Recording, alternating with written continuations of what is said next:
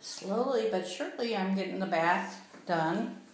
Um, I, they just installed my um, American Standard toilet, dual flush features. I have number one button for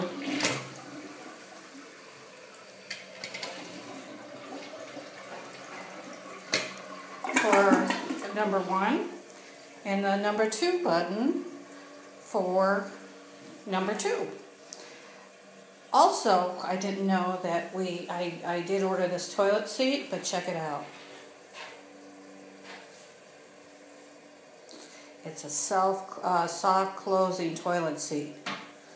Isn't that great? Anyway, just wanted to show you my toilet. It doesn't take much to make me happy, other than my grandkids, Marley and Cameron. Then, uh, this is a good day. Thanks. Love you. Bye.